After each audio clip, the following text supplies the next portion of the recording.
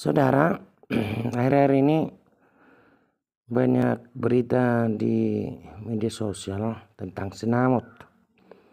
Berapa sih sinamut yang layak? Saya Jasman Sialo, sarjana agama bakalor filosofi teologi, akan sedikit menjelaskan bukan berarti saya lebih tahu namun perlu kita gali berbagai informasi tentang apa itu sinamut. Apakah jumlah sinamut itu berpengaruh kepada sekolah atau pekerjaan dari calon pengantin wanita? Sebaiknya itu bukan ukuran.